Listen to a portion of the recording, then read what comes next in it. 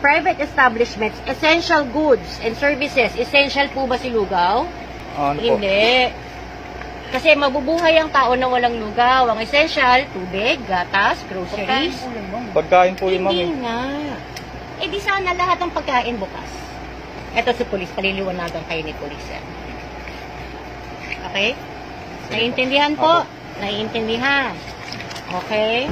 Tapos, may nakasulat din tayo dito, sir, na ah ang po pwede lang, provision of foods and essential.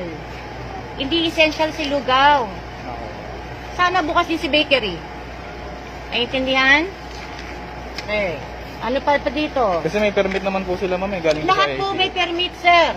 Na lahat may 24 permit. hours po sila, allowed po May sila mag-operate. ni-implement kasi tayo na curfew hour, sir.